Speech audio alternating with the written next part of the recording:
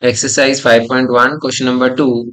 The following numbers are obviously not perfect square. So give reason. So here we have to check out that these numbers are not a perfect square. So for this we have to remember that if the numbers, if the unit digit as we studied in the earlier question, so if the unit digit of a number is 1, 4, 6, 9 or 5 or even number of zeros, even number of zeros, then only it can be a square number. This is a identification for a square number.